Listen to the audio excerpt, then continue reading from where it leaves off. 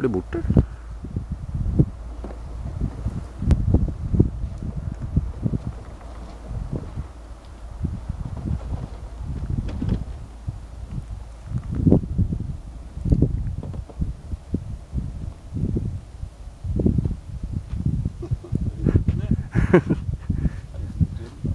Jaså, navnet?